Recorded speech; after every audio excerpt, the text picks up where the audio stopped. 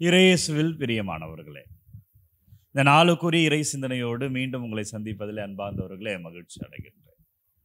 ஆண்டவருடைய அழைப்பை உணர்ந்திருக்கிறேனா தேவைகளோடு வாழ்கிறேனா இதுதான் இந்த நாளுக்குரிய செய்தியாய் மைய சிந்தனையாய் பார்க்கிறேன். இன்றைக்கு மத்திய நற்செய்தி பத்தாவது அதிகாரம் ஏழிலிருந்து பதினைந்து வரை உள்ள இறை வார்த்தையிலே தேவைகளோடு மட்டும்தான் நீ வாழ்கிறாயா? கிறிஸ்தவனே கிறிஸ்தவலே உன் தேவைகளோடு மட்டும்தான் நீ வாழ்கிறாயா? ஒரு பயணி ஒருவர் பயணித்துக் கொண்டிருக்கிறார் சுற்றுலா செல்கிறார். செல்லுகிற இடத்துல ஒரு நபருடைய அறிமுகம் கிடைக்கிறது கொஞ்சம் வசதியானவராய் தெரிகிறார். அவர் சொல்லுகிறார் நன்றாக பழகி விடுகிறார்கள் பழக்கத்தின் அடிப்படையில் சொல்லுகிறார் இன்று என்னோடு வந்து தங்குங்கள் என்று சொல்லுகிறார். இவரும் அவர் அறைக்கு செல்கிறார். பார்ப்பதற்கு வீடு பிரம்மாண்டமாக இருக்கிறது. எனவே அந்த பணக்காரர் என்பதை இவர் இந்த பயணி உறுதிப்படுத்திக் கொள்கிறார். இல்லத்திற்கு சென்று பார்க்கிறார். அந்த இல்லத்திலே மிக குறைந்த பொருட்களே இருக்கின்றன. இவ்வளோ பணக்காரர் இவ்வளோ பெரிய வீடு ஏன் அதிகமாக பொருட்கள் இவருக்கு இல்லை என்ற கேள்வி இவருக்குள் இருந்து கொண்டிருக்கிறது. தங்கிவிட்டு அடுத்த நாள் காலை அந்த அறையிலிருந்து வெளியில் வருகிற பொழுது வீட்டிலிருந்து வெளியில் வருகிற பொழுது கேட்கிறார் நண்பா ஒன்று கேட்டால் தவறாக எடுத்துக்கொள்ளாதீர்கள் ஏன் நீங்கள் இவ்வளவு குறைந்த அளவில் பொருட்களை வைத்திருக்கிறீர்கள் என்று கேட்கிறார் இந்த பயணி.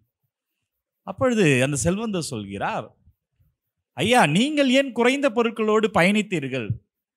ஏன் நிறைய பொருட்களை எடுத்து வரவில்லை? என்ற உடனே அவர் சொன்னாராம் இல்லை இல்லை நான் பயணிக்கிறேன். நான் ஒரு சுற்றுலாவிற்காக வந்திருக்கிறேன். எனவே அதிக பொருட்களை சுமந்தால் அது எனக்கு பாரமாக இருக்கும். என்னால் சுற்றுலாவை ரசிக்க முடியாது. எனவே குறைந்தது என்று சொன்னாராம். அதே செல்வந்தர் பதில் சொன்னாராம். ஆமையா நானும் ஒரு பயணியே. நாமும் ஒரு பயணிகளே. இந்த பயணத்தில் குறைந்தது இருக்கிற பொழுது நிறைவாய் வாழ்வோம். அன்பார்ந்தவர்களே நாம் தேவைகளோடு மட்டும்தான் இருக்கிறோமா? பொருள் அளவிலும் சரி மனதளவிலும் சரி. இன்றைக்கு இயேசு சீடர்களுக்கு சொல்லுகிறார் பாருங்க. ரொம்ப அழகாக மத்திய நற்செய்தி பத்தாவது அதிகாரம் ஏழுலேருந்து பதினைந்து வரை உள்ள இறை வார்த்தையில் அவர்களை அனுப்புகிற பொழுது அவர்களை பொன்னோ வெள்ளியோ செப்பு காசு எதையும் எடுத்து செல்ல வேண்டாம். அப்படி என்றால் ஆண்டவர் எதை மையப்படுத்துகிறார் என்றால் தேவைகளோடு மட்டும் வாழுங்கள். உங்கள் மனதளவில் கூட. உங்கள் மனதளவில் கூட.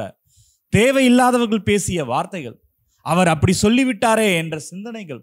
இவர் எனக்கு எதிர்ப்பாய் இருக்கிறாரே என்ற சித்தாந்தங்களை எல்லாம் நீங்கள் தேவையற்றவைகள் எல்லாம் உள்வாங்குகிற பொழுது தேவையானவை மறைந்து விடும் தேவையற்றவைகளை எல்லாம் நம் உள்வாங்கிய மனசுக்குள் வைக்கிற பொழுது தேவையானவை மறைந்து விடும் இந்த சுற்றுலா செல்லுகிற பயணி தேவையானவை மட்டும்தான் எடுத்து செல்ல வேண்டும். அப்பொழுதுதான் அவர் செல்லுகிற இடங்களிலே வாழ முடியும் ரசிக்க முடியும் பலவற்றை காண முடியும். நாமும் கூட ஒரு பயணியே. ஆண்டவர் இந்த உலகத்திற்கு நம்மை அனுப்பி இருக்கிறார். தேவைகளோடு மட்டும் வாழ்ந்தோம் என்றால் அது பொருள் அளவில் இருந்தாலும் சரி மனதளவில் இருந்தாலும் சரி.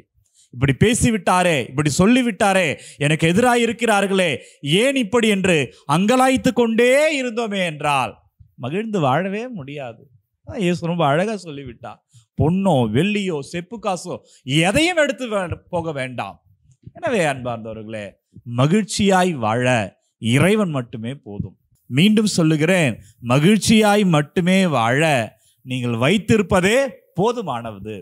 இன்னும் அதிகமாய் செபியுங்கள். இன்னும் அதிகமாய் அவரை தேடுங்கள். வல்லமையான இறைவன் உங்களையும் உங்கள் குடும்பத்தையும் ஆசீர்வதிப்பார். தாயும் தந்தையுமான இறைவா. ஆண்டவரே இந்த நாளுக்காய் நன்றி செலுத்துகிறேன். பார்த்து கொண்டிருக்கிற ஒவ்வொருவரையும் இறைவா ஒப்பு கொடுக்கிறேன். இயேசுவே ஆசீர்வதிப்பீராக.